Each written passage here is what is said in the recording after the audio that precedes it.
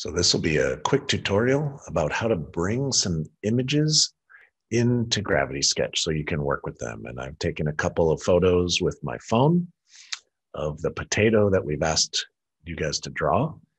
And so I have them saved on my computer. And what I want to do for a first step is to, I'll show you where they are. I've got a folder in no particular order with no great names here, just directly from my phone, a few photos of a potato. What I'm going to do is I want to open landing pad.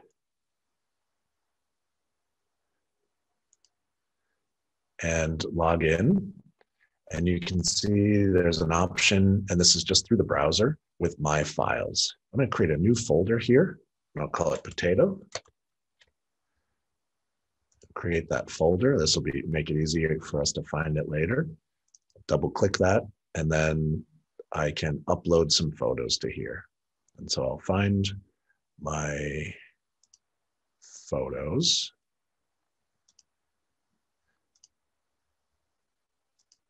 Which are these. I'll select all of them and I'll upload them.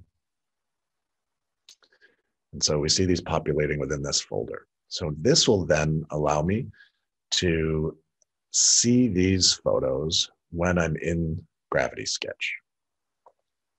And so I'll let them finish uploading.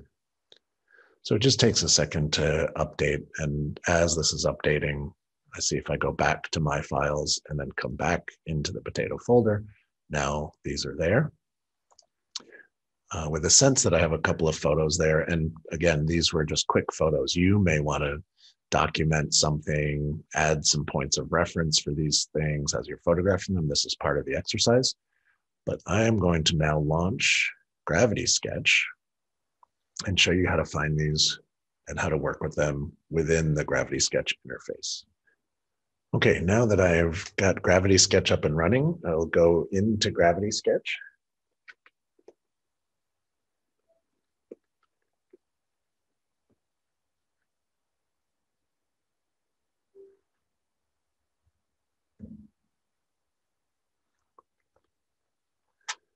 Okay, now that I'm in Gravity Sketch, I want to change a couple of options for us given what we're drawing. I'm going to go into settings,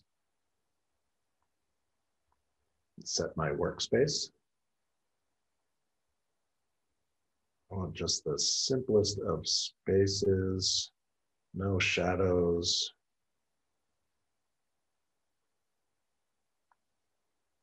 Even turn off some of these other things. So now we have a very basic thing. We can access from the left controller with the blue thumb button, reference images. And so now we can find our referenced images and we can refresh.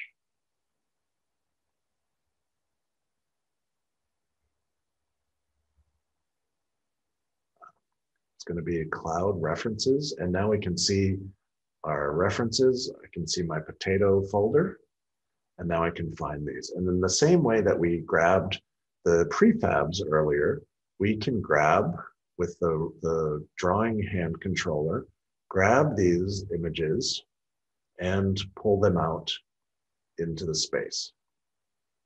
We can then work with these. I hide that controller, you can see they are fixed in space. And let's see, I can right, or sorry, with my non-drawing hand blue button, I can unlock them. I can scale them in the same way that I scale objects before.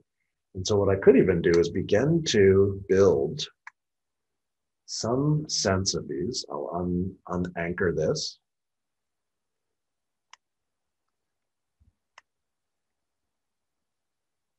Uh, you could even begin to build some sense of this object as we move around these images in three dimensions.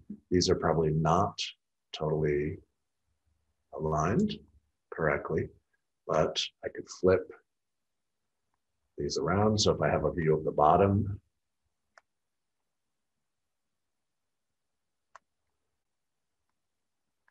I might be able to look at them that way and see the potato from this side versus the potato from this side versus looking at them from this direction.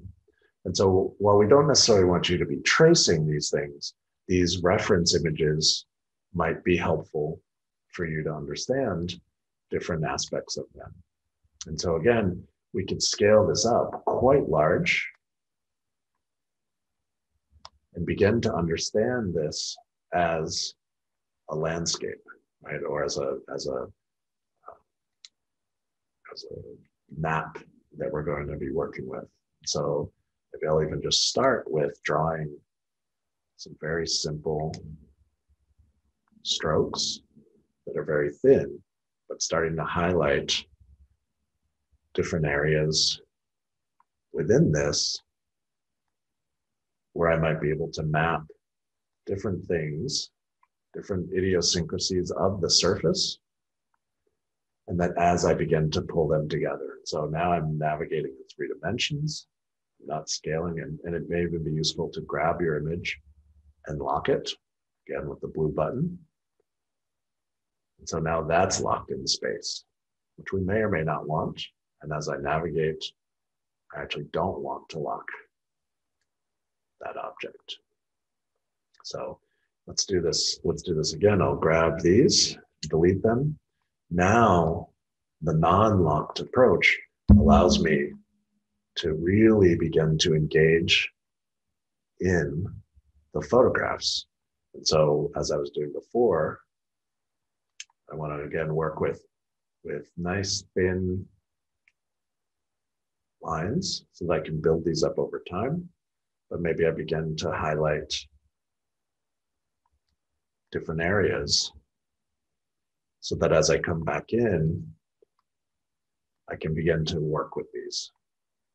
And so let's think about how we begin to draw in three dimensions what this might be.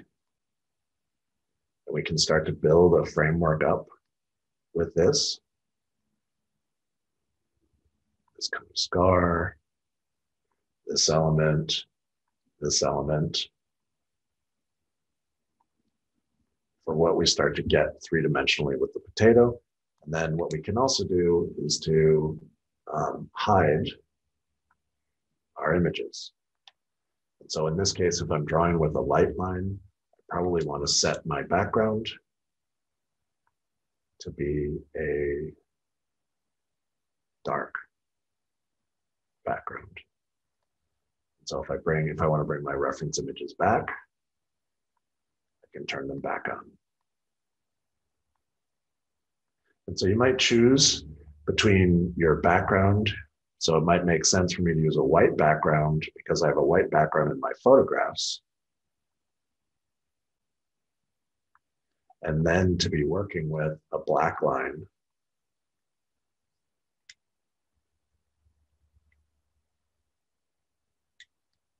as I begin drawing here now. And we might just kind of map out how we're starting.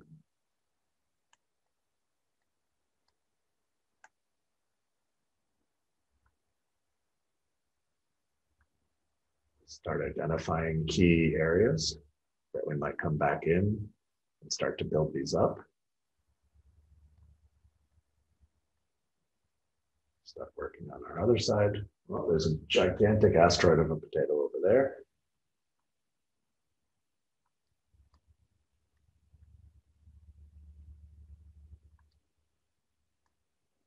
And then again, as I hide, as I work back and forth between hiding the reference images,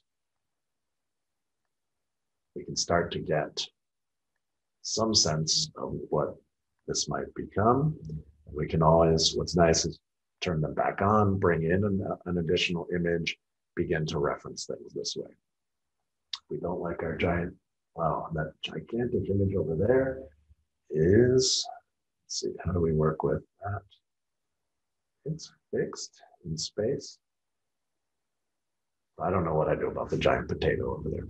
Anyway, maybe a good background, maybe good inspiration or a good reference but we can also make this potato quite large as we move away from it and start to look at it.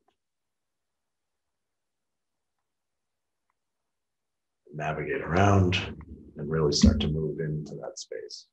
Right? Now it feels like I'm I'm occupying this as a landscape. Start to move in and begin to talk about these different aspects. I might have them as kind of call outs. And I'll come back and look at them later or re-photograph a potato and begin to reference it. All right, hope this helps. Let me know if you have any questions and I will add a couple more tutorials now.